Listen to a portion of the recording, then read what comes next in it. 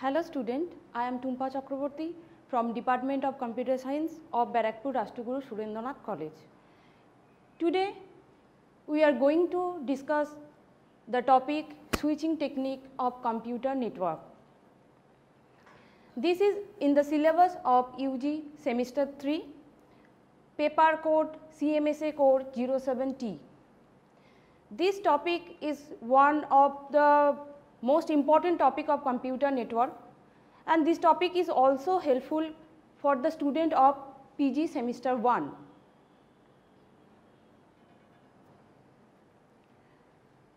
These are the content that I will discuss with you.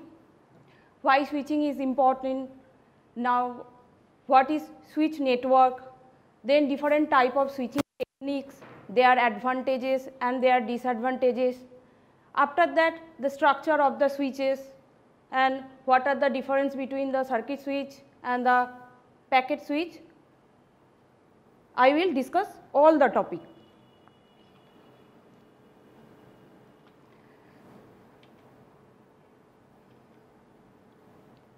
First, why switching is important? As we all know that a network is a set of connected device. When multiple device want to communicate with each other, we have to provide one to one connection between each pair of devices. That means we have to provide a dedicated path between each pair of devices. So, we have to create point to point connection between all pair of devices which we can see in mesh topology or we can connect all the node to a central node as we can see in star topology. But in a large network, it is not possible to create point to point dedicated path between every pair of nodes. Why? Because the number of link and the length of link is too much. So, it is very cost efficient and majority of the link most of the time become idle. So, it is very much impractical and wasteful to create a point to point connection between each pair of devices for a large network. Instead of create a point to point network, we can solve this problem by creating a switch network. So, the solution of this limitation is switching. What is switch network? A switch network consists of a series of interlink node which are called switch. Switch create a temporary connection between two or more devices. In this figure, we can see that 1, 2, 3, 4, 5, 6, 7 are switches and A, B, C, D, E, F, G, H, I, J, K, L all are the end user. Some switches directly connected with the end user. This type of switches is called the edges and some switches are directly connected with the another switches which is used only for the routing purpose and it is called distributed switch. In this figure we can see that switch 4 is used only for the routing purpose because switch 4 is directly connected with another switches and switch 1, 2, 3, 5, 6, 7 are directly connected with the user. That means these switches are called the edges switches. What are the function of the switches? A switches is a multi-port network device. That means switch has many ports and uh, in this port different type of uh, nodes like it may be computer, it may be another device are plugged in. Once a device is connected via switch, then it identify its MAC address. That means medium access control address which is also known as hardware address. When a data enter into a switch via some port, then the switch can identify from which device the data is incoming and to where the data is passed. Switch these type of function perform at the data link layer. Some switch can process the data at the network layer by combining the routing function. This type of switch is called multi-layer switch. Switch also allow unicast, multicast and broadcast communication and it also support full duplex mode for data communication and some switches also perform some error checking before forwarding the data into the next switches. Now what is switching? Switching is the process to transfer data that is coming in a port to the another port that leading to the destination. When data come in a port, it is called ingress and when data leave the port, it is called egress. So, in a large network, if there are multiple paths exist, then switching help in deciding the best route of the network and it also provide the feelings like one to one communication between the sender and the receiver. Switching allow both the services, it may be connection oriented or it may be connectionless. When we use the connectionless service that means when we use connectionless communication first the user create data and they can send the data via any switches that means there no need there no need pre handshaking method that means data cannot follow any particular route.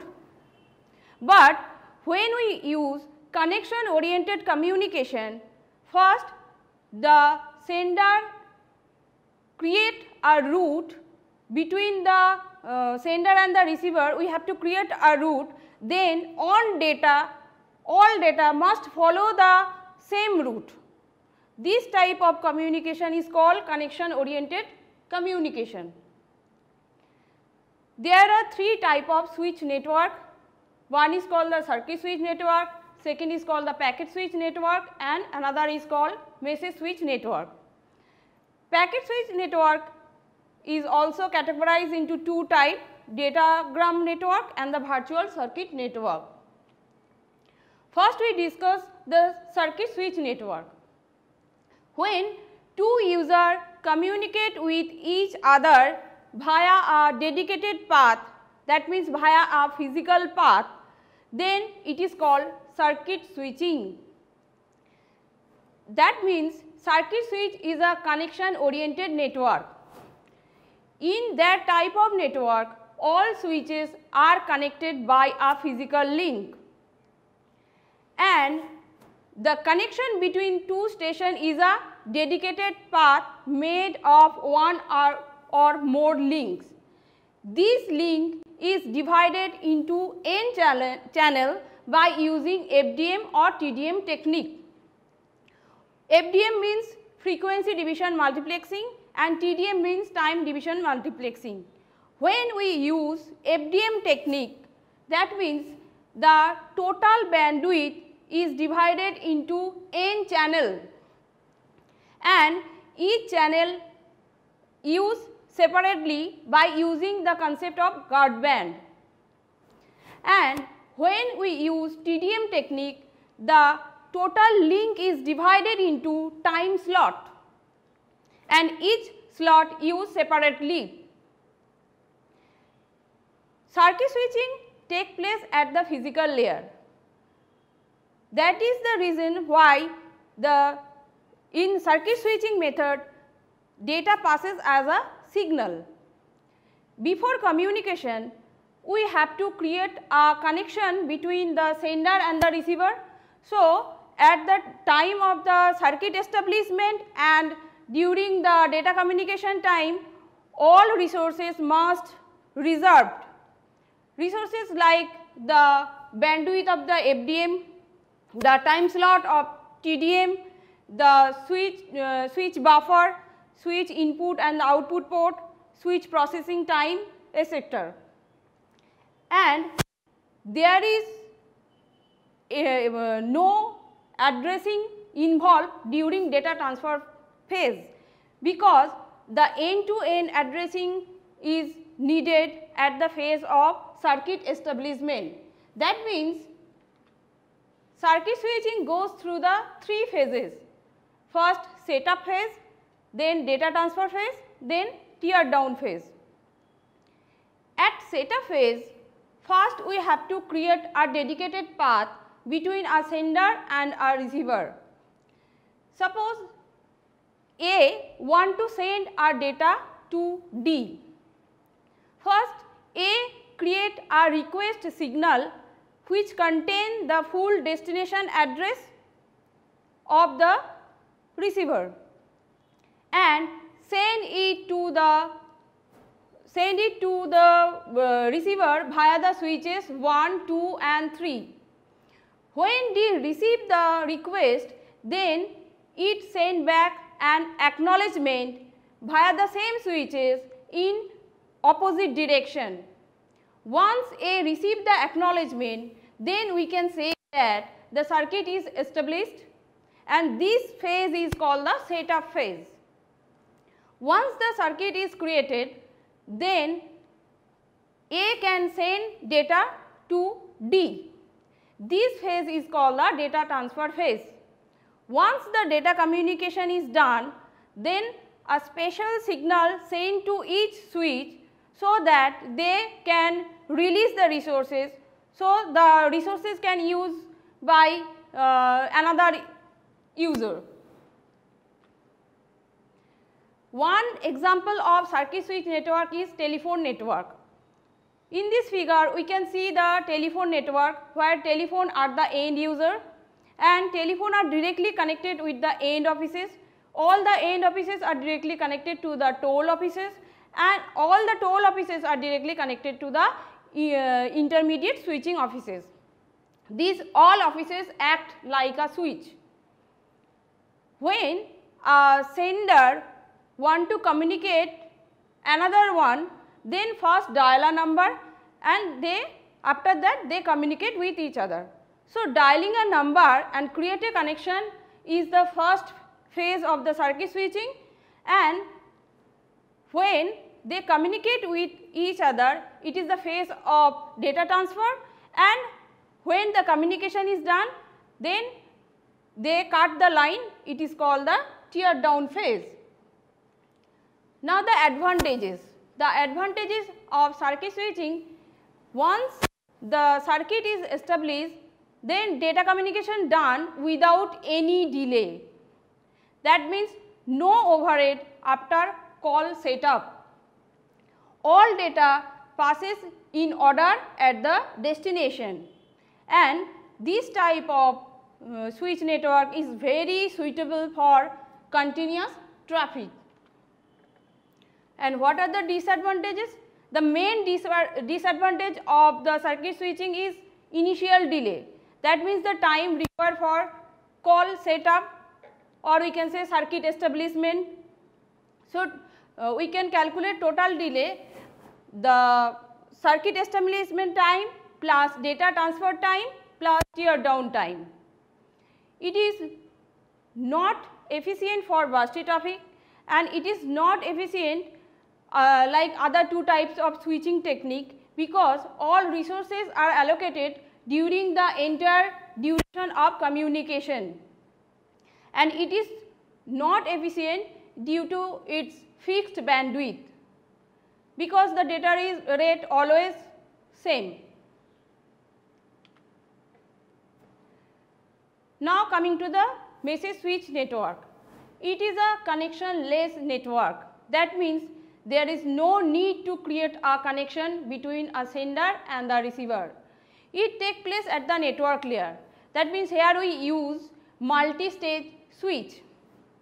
When a station want to send a message then the message then full destination address is appended with the message. First the total message sent to a switch, the switch store the entire message then forward to the another switch or the destination. So, the process is first store the entire message then forward the message that why that is why the message switching is also called store and forward method. In this figure if we can see if A want to send a message to B first A create a message and that include the destination address. First send the message to switch 1. When switch 1 receive the message, first it store the message then forward to the another switch that is switch 2. Switch 2 do the same first store the whole message then forward the message to B. That is the reason it's, it is also known as store and forward method. The advantage of message switching is channel is not blocked, more device can share the channel and packet are accepted even under a heavy tra traffic. Message priority can be used to satisfy the requirement if any. Now the disadvantages it require enough storage because each switch must store the uh, message then forward the message to the another switch. So, each switch require huge amount of storage. It is the disadvantage of message switching. Another disadvantage is it is very slow due to store and forward technique. Now coming to packet switch network. It was developed in 1970 for long distance data communication. One disadvantage of message switching is the uh, sender always send the whole message to the another switch or the destination. To overcome this limitation, we in packet switching, we first divide the message into a small piece, small pieces which may be fixed length or variable length. These pieces is called the packet. Each packet contain some control information, the destination address, the source address uh, and some other information and each packet route to the network freely independently and the packet can arrive at the destination out of order. So, at the destination uh, the receiver uh, has to arrange the uh, packet uh, based on the sequence number. There are two type of packet switching, one is datagram approach and another is virtual circuit approach. First we discuss datagram approach. Datagram approach, datagram uh, network is a connection less network. It is uh, take place at uh, network layer. That means here no connection is required for data transfer. First message is divided into packet and each packet contain the necessary addressing and the uh, sequence number and some control information and the packet is the pa packet is treated independently and uh, allowed to uh, take variety of uh, possible path through the network. Packet with the same destination address do not follow the same route. They may arrive out of sequence at the destination. So, at the destination the receiver uh, has to uh, reorder them based on the sequence number. In this example, we can see A want to send a message to X. First A divide the message uh, into 4 packet 1, 2, 3, 4 with the sequence number 1, 2, 3, 4 and we can see that packet, uh, packet number 1 follow the another route, packet number 2 follow another route and packet number 3 goes uh, through goes via another switches. So, at the destination point we can see packet number 1 arrive first, then 4, then 3 and then 2. So, the receiver X has to rearrange the packet based on the sequence number. So, what is the delay of the datagram approach? The delay is not uniform for the packet of a message. Why? Because it is not necessary that all packet follow the same route. If T is the transmission time, P is the propagation time and W is the waiting time for each switches and if n number of packet can travel n number of node then we can calculate n minus 1 into T plus n minus 1 into P plus W1 W2 dot dot W n minus 2 time. This is the total delay of a packet. The advantage of datagram approach is there is no need to create any connection. And packet can uh, arrive via any switches. And it is more flexible because there is no need of circuit establishment. And if a node fail, if a link congested then the node or link can be avoided, packet can uh, select another route. So, it these are the advantages of packet uh, datagram approach. Now, disadvantages packet may arrive at the destination out of order. So, uh, there is some sorting algorithm at the destination point to rearrange them and another disadvantage is if a node damage then all the packet that are in queue are lost. Now coming to the virtual circuit approach. Virtual circuit network is a cross of circuit switch network and datagram approach. It is normally implemented at data link layer. It is a connection oriented network. That means first we have to create a connection between the sender and the receiver. Instead of using a destination address, here we use a identifier to create a connection between sender and the receiver. This identifier is called virtual circuit identifier. It is a very small number and uh, it is used between two switches uh, with frame. We can also say packet or frame. Some example of virtual circuit network are X25 frame relay ATM. In virtual circuit approach, here we can also use or also go through three phases. One is called the connection establishment, then data transfer, then connection release.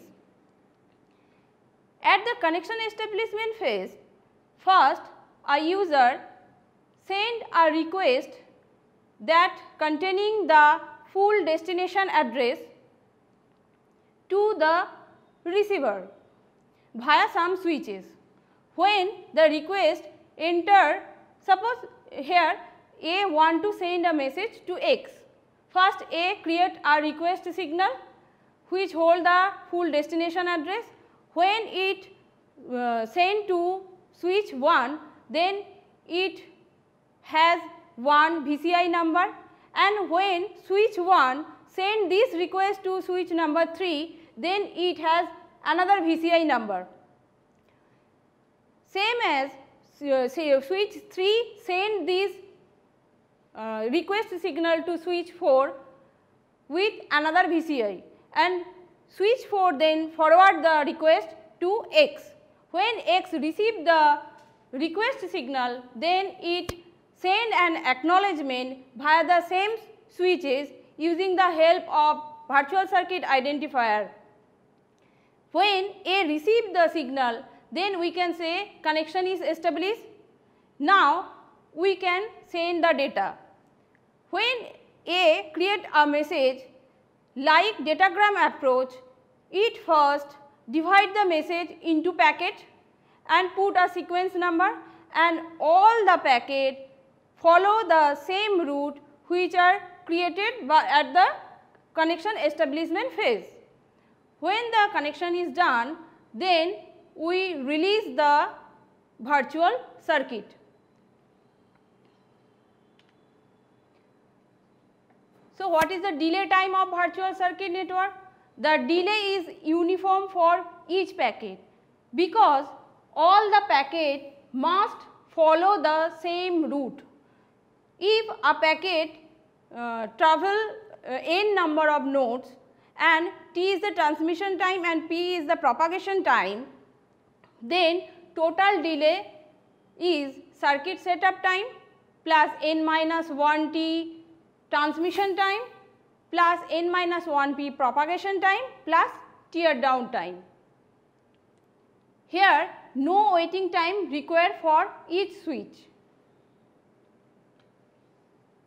The advantages of virtual circuit network is network can provide sequencing, sequencing. That means all the packet transfer to the receiver in order and it can perform some error control. Packets are forwarded more quickly in virtual circuit network because of virtual circuit identifier. There are no routing decision made for each packet. So, now the disadvantages it is very expensive to implement a virtual circuit network and if a node fails then all the virtual circuit that passes through the node fail. So, we have to create a new circuit for further communication.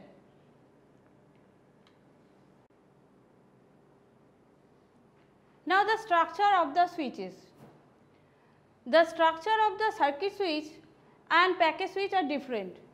First, we discuss about the structure of circuit switch.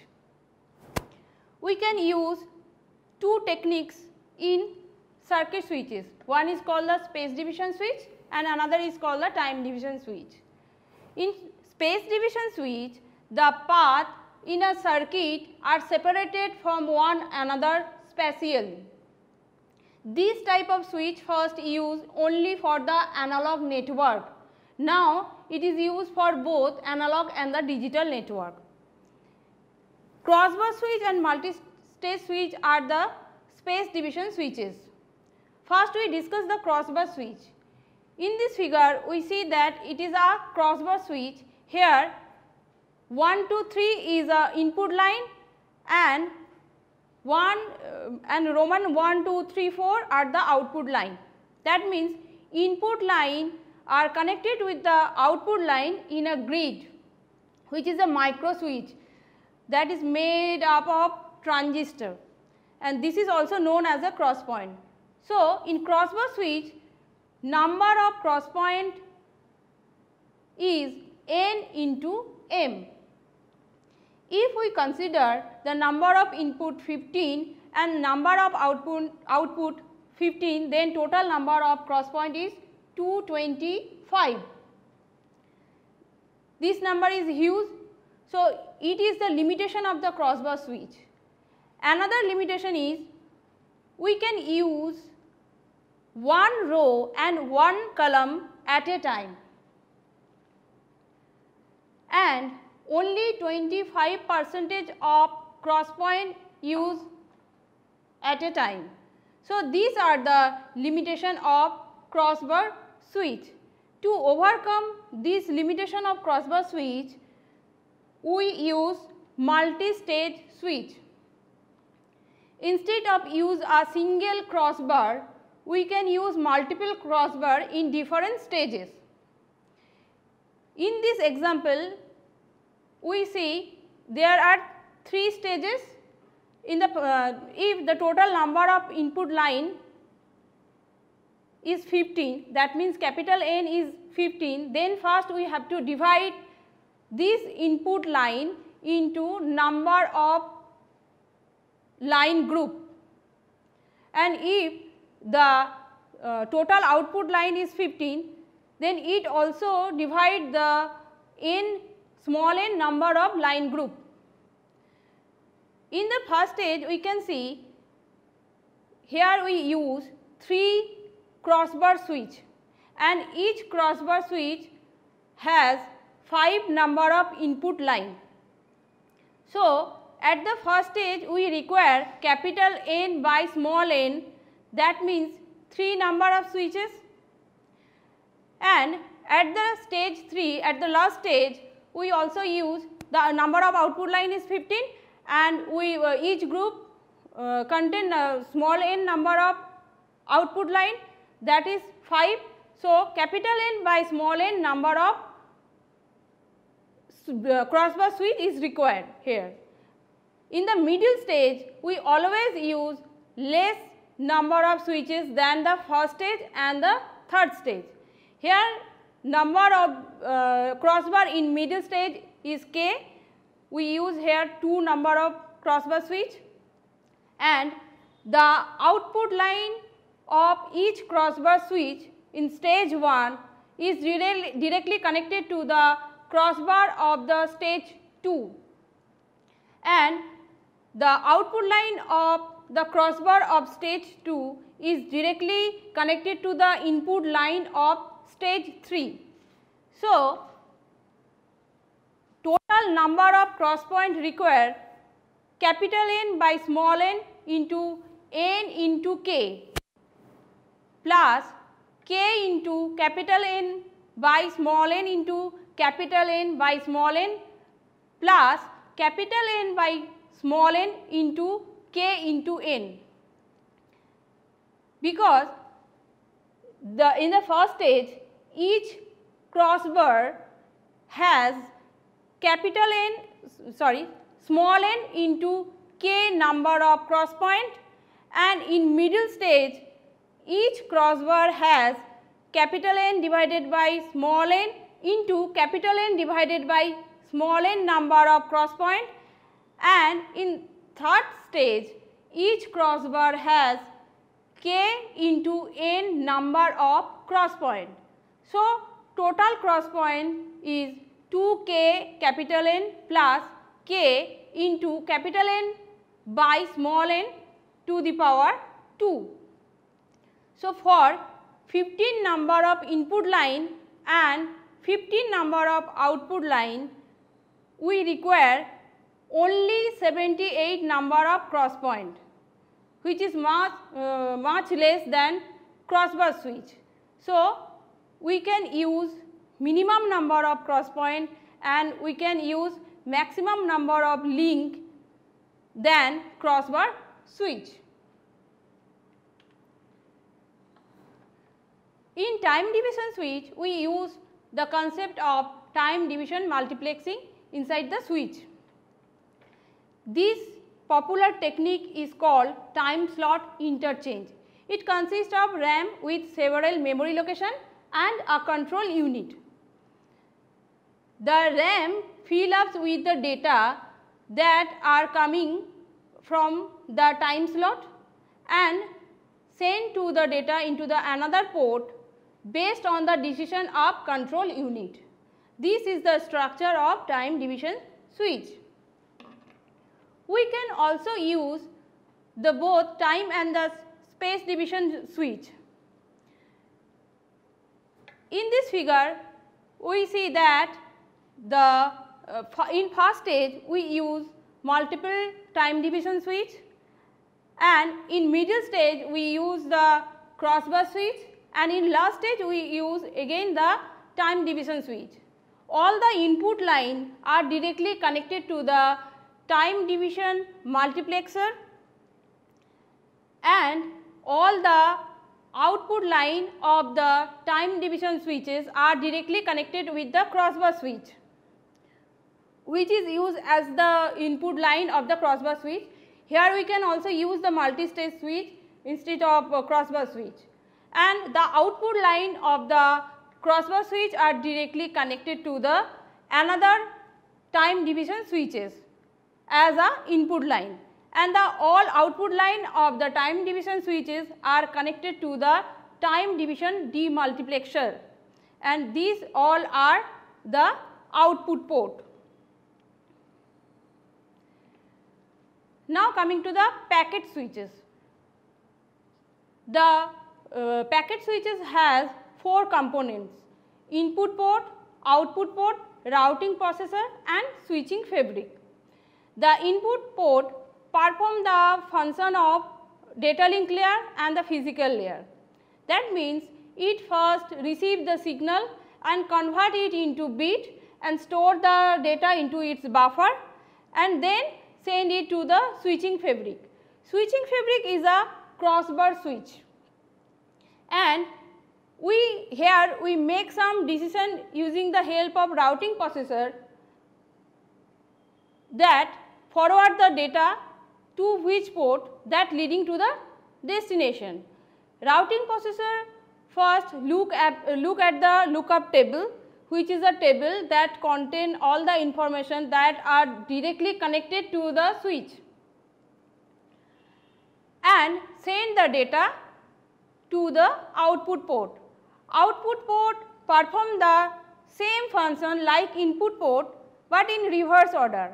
That means it first receive the bit, store the bit and convert it into a signal. This is all about the switching technique and the structure of the switches. Thank you.